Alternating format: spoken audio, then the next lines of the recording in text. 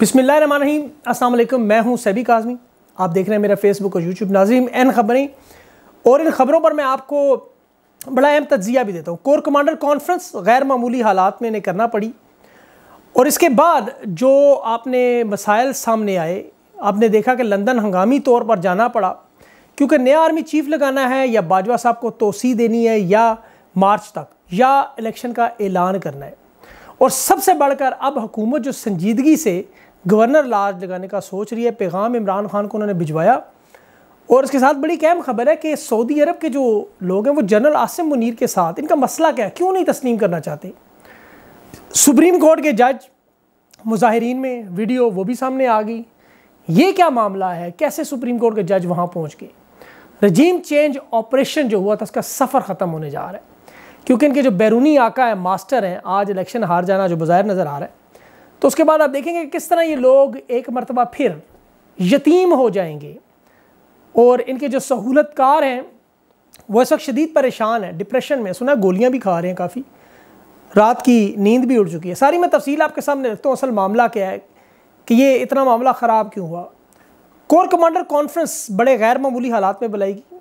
Army chief की जो तैनाती है, तकर्री या नए चीफ की, उसका मसला है, उस पर बात करना थी। दो हज़ार तेईस के इंतबात लॉन्ग मार्च जो इस वक्त चल रहा है, और सबसे बढ़कर जो रिटायरमेंट में बाजवा साहब की सिर्फ़ सत्रह दिन रह गए हैं, वक्त कम है और मुकाबला बड़ा सख्त है। लेफ्टिनेंट जनरल आसिम मुनीर को वाइस चीफ लगाने की बात हो रही है, और इसके साथ साथ मार्च दो, आपको पता है लॉन्ग मार्च जब तक ये हालात ठीक ना हो, उस वक्त तक बाजवा साहब कमान खुद संभालें, ये मशवरा उन्होंने आज खुद दिया। लेकिन कोर कमांडर्स की तरफ़ जवाब, कोई तसली बख्श नहीं आया। उन्होंने जो जवाब आया वो यही कि देखें, हमारे जूनियर अफसरान जो हैं, हमारे सिपाही जो हैं, वो नहीं मान रहे कि लॉन्ग मार्च के ख़िलाफ़, अपनी आवाम के ख़िलाफ़ हम कैसे कार्रवाई करें, इन्हें कैसे वहाँ से उठाएँ? ये लोग इनकार करेंगे तो फिर ज़ाहिर है बगावत तो हम नहीं अफोर्ड कर सकते, ना होनी चाहिए, अल्लाह ना करे। हम हुक्म भी नहीं ऐसा दे सकते। और इन अफसरान को भी पता है सबको कि सत्रह दिन की बात है, बर्दाश्त कर लें। मुशरफ की मिसाल आपके सामने है, बड़ा ताकतवर चीफ था। फिर किधर है आज? क्या हाल हुआ? सत्रह दिन इमरान खान भी आपको पता है जानबूझकर लॉन्ग मार्च को आहिस्ता आहिस्ता टेक्टफुली डिले कर रहे हैं। ताकि मामला बेहतर हों, यही इमरान खान ने कल बात भी सी एन एन और बड़े इदारों से की कि हमें हर हाल में इन बुरे हालात से निकलना है। लड़ना एक तरफ़, निकलना भी है इसमें से। इमरान खान को इन्होंने इसीलिए दावत दी, आप सदर ममलकत आरिफ अलवी को अपने साथ लेकर आए बैठ कर नए इलेक्शन की तारीख देते हैं। ये बात एहसन इकबाल ने भी वैसे कन्फर्म की है कि रबते हो गए शुरू। इलेक्शन का ऐलान और साथ दूसरी सूरत कबर बाजवा साहब नहीं तो मार्च की तेईस तारीख तक ये अपनी निगरानी में फिर एमरजेंसी भी लगाएँगे। गैर मामूली हालात का कहकर ये निगरान हुकूमत तो उसको मुतन भी यही करेंगे और बाकायदा तौर पर इलेक्शन का तारीख का ऐलान यही करेंगे। अब वो चाहे फिर चली जाए कि नौ साल या ग्यारह साल पर, फिर हमसे गिला ना कीजिए।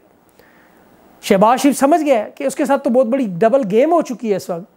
कि नवाज़ शरीफ के जहन में कुछ और मामला था, इनके जहन में कुछ और ये दोनों चाहते थे मिलकर जनरल आसिम मुनीर को लगाएँगे। सारे मामला ठीक हो जाएँगे, मेजर जनरल फैसल नसीर बाकायदा तौर पर इसीलिए मीडिया में आसिम मुनीर को प्रमोट करने में लगा हुआ था, बड़े अरसे से, ये मिशन था उसका। लेकिन यहाँ पर सऊदी अरब के कुछ एतराज़ात सामने आ गए। उन्हें दूर करने के लिए फिर अब शहबाज शरीफ, नवाज़ शरीफ से मिलने गए हैं कि जी अब करें क्या? चौदह अरब डॉलर इन्होंने देने हैं जो हमारे दरमियान सालसी भी करवाने लगे हैं। और इसीलिए फिर जनरल आसिम मुनीर के के बाद, मामले कोर कमांडर कॉन्फ्रेंस के बाद रात के भी बड़ी अहम मुलाकात हुई।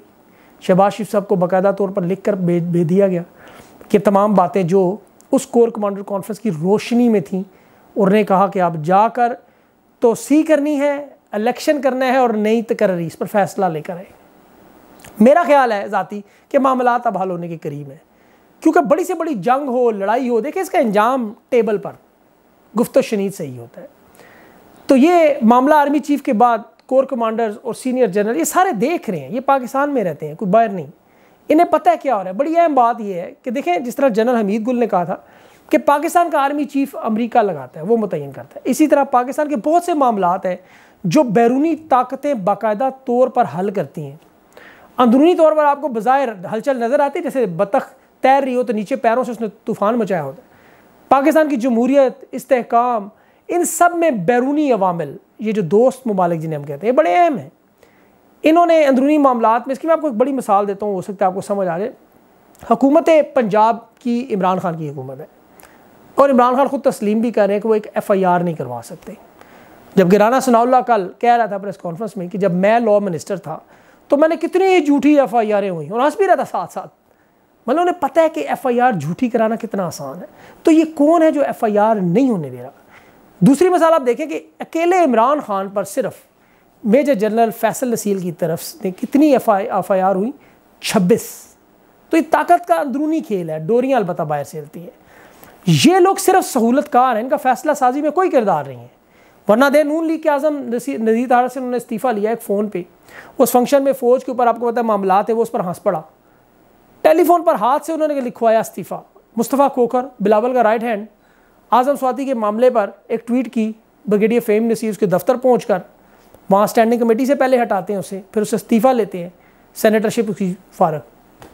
अब दूसरी तरफ़ आप देखें कि इमरान खान, जिसे एक कमज़ोर, पुतली सिलेक्टेड तीन साल तक उस्मान बुजदार को वजी अला कायम रखता रहा, हर किस्म का दबाव, हर किस्म की ब्लैक मेलिंग हर किस्म की इनकी दो नंबरी इमरान खान ने मुस्तकिल मजाजी से अपने मौक़ पर खड़े होकर बताई।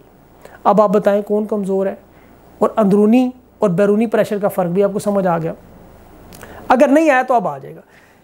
पाकिस्तान की तारीख का सबसे बड़ा लीडर इमरान खान है इस वक्त। सब मानते हैं गोलियाँ लगी। चले मज़ाक में इनकी बात मान लेते दो लगी, चार लगी। मुल्क का ताकतवर तरीन शख्स जनरल कमर बाजवा है। ये भी आप मान लें सब।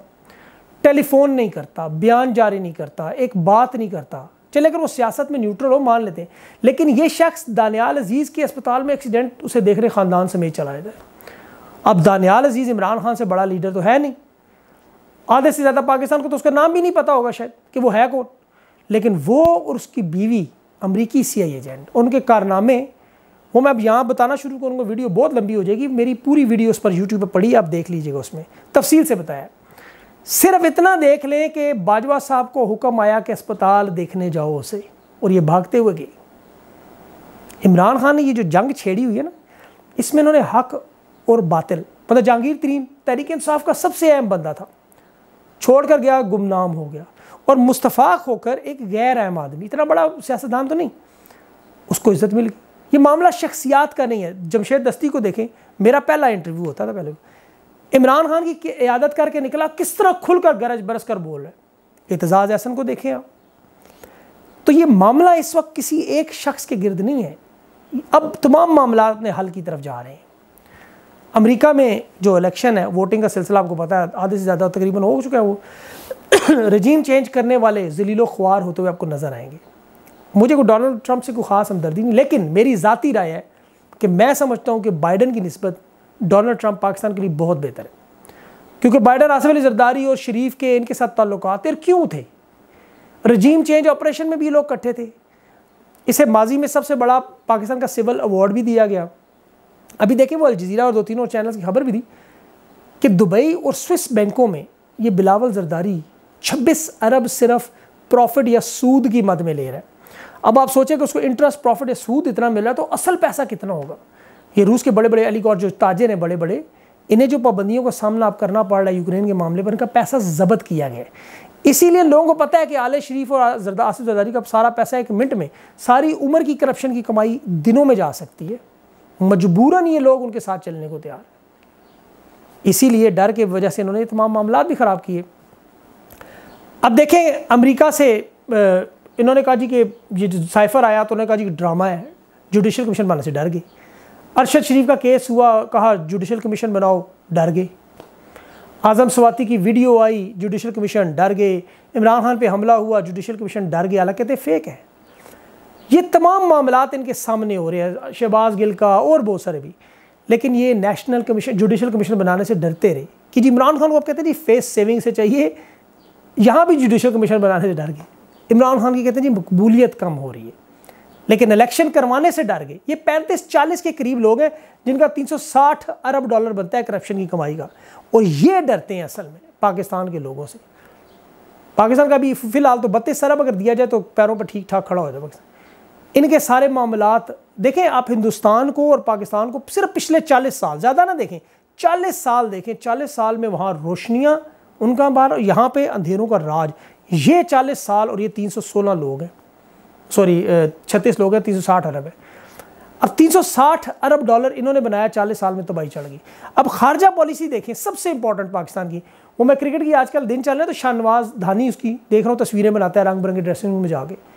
शहबाज शरीफ बड़ी मीटिंग्स में कॉन्फ्रेंस में सरबराहान के साथ बड़े बड़े लोगों के साथ, जहाँ पे आपने डील्स करनी है, सौदे करने हैं ताल्लुक बनाने ये अपना कैमरा पकड़ा हुआ जा रहा है। कोई राह चलता हुआ इसको वजी नज़र आता है फ़ौर पकड़ कर बाजू से खींच के गर्दन से इसका बस नहीं चलता दबोच के मुँह नोच ले मुँह छूम ले उसका लेकिन तस्वीर ज़रूर बनानी अब वो बेचारे मजबूर हरासा हो रहे हैं डरे हैं यार अब करें क्या? हाथ मिला लें। जैसे वो बड़े बड़े इंटरनेशनल सेलिब्रिटीज़ के साथ लोग ज़बरदस्ती चिपक के तस्वीर बनाते हैं। और तुम पाकिस्तान का सो जा, जा रहे हो अपनी तस्वीरें बनाने जा रहे हो। पूरे पाकिस्तान का दुनिया भर में मज़ाक यकीन करें।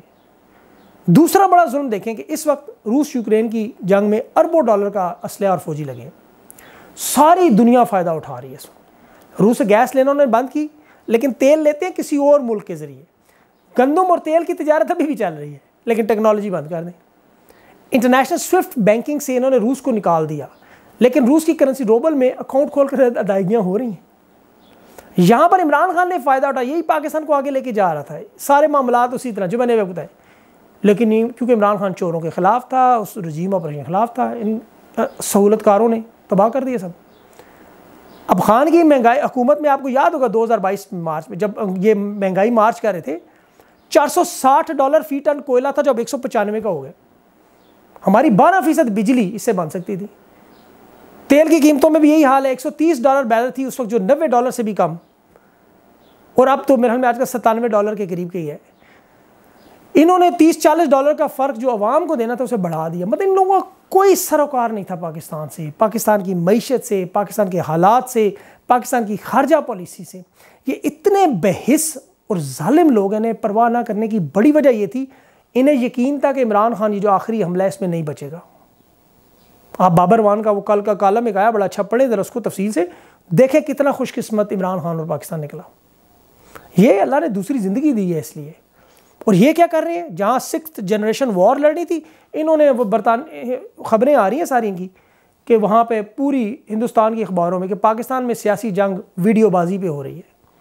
तो इन्हें अदालत में इमरान खान को गुमराह करने के लिए एक सहाफ़ी पकड़ा, फिर गरीदा फ़ारूकी तलत हुसैन से शेयर करवाई P T I P T V पर पैसे देकर वो कॉन्टैक्ट चलवाया, कातलाना हमला, मजहबी मुनाफा जोड़ दी। ये इनका पूरी दुनिया पूछ रही है सवाल मेरे से।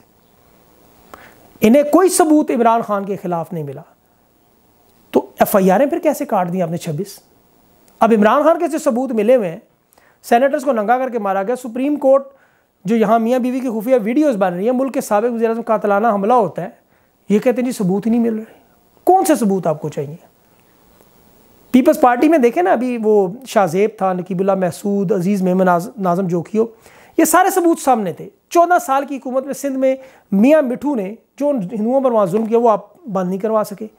सारे सबूत मौजूद थे। और तो छोड़े, नौ नवंबर आज आज़ादी का दिन। बचपन में गलियों में हम गया करते थे। आज कहते थे जी, लोग शोक गुजारते हैं, इसकी छुट्टी बंद कर दें। मुसवर पाकिस्तान का दिन। आज छुट्टी दी किस बात पे? लॉन्ग मार्च पे। क्यों मना रहे हैं दिन? हालाँकि नासरा इकबाल, जस्टिस नासरा इकबाल, लामा इकबाल की बहू, उनके घरों ने क्या जुल्म किया? ये किस तरह लामा इकबाल की कब्र पर जाकर हाथ उठाकर दुआ करेंगे और सोचेंगे? लेकिन ये स्कूल के प्रिंसिपल्स को फ़ोन करें जी, बच्चों, स्कूलों, कॉलेजों से। हमारे न्यूट्रल्स के हक में जिंदाबाद, बाजवा जिंदाबाद की वीडियोस बनवाएँ और बनाकर हमें भेजें। खुद इनके अपने जूनियर्स इनकी बात मानने से इनकार कर रहे हैं। अभी भी वक्त कहीं नहीं गया, दुरुस्त काम करें, सही काम करें, लोगों को सिक्स जनरेशन वॉर से सेक्स जनरेशन वॉर पे ना लेके जाएँ। इंसानों की तरह, और आखिर में तहरीक इंसाफ का मैं बड़ा इस बात पे अप्रिशिएट करता हूँ सबको, कि ये अभी परवेज़ रशीद की वीडियो आई, किसी बंदे ने परवाह नहीं की, क्योंकि उन्होंने अटेंशन डाइवर्ट करनी थी कि मरीम के सबसे क्लोज वही थे। मरीम नवाज़ के। तो ये देखे जी वीडियो ये गंदी चीज़ें हैं। इन लोगों को, बल्कि परवेज़ रशीद को चाहिए, इन लोगों को अब लेकर आए सामने। उसका ज़ाती फेल है, वो जाने, उसका अल्लाह जाने। हमारा उसे क्या, लेकिन परवेज़ रशीद को चाहिए कि जिन्होंने बनाई है, उनको अब सामने लाए, उनका नाम ले सामने। डरे मत। डॉन लीग्स में भी नवाज़ ने शटअप कॉल दी थी। एयरपोर्ट पे बैठा, मैं देख रहा हूँ, कुछ कर लेकिन ज़ाती फेल है। देखिए, हम ज़ातियात पे किसी की नहीं जाए ये अल्लाह और उसके बंदे का मामला है। हमें सिर्फ़ बड़े इश्यूज़ पे बात करनी है। अपना खास ख्याल रखें। अगली वीडियो तक के लिए इजाज़त दें। अल्लाह हाफ़